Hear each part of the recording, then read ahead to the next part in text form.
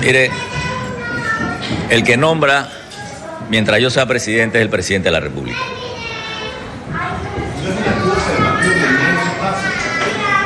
Aquí las cuotas es para hacer buen trabajo.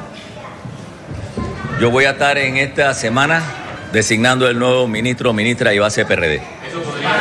Sí, va a ser PRD. ¿Perdón? Hemos estado evaluando. Quisiera tener a alguien, un perfil de abogado con experiencia en las áreas.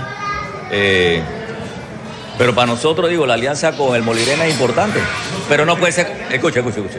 No puede estar condicionada la alianza a que me digan, hey, ese, ese es mi espacio.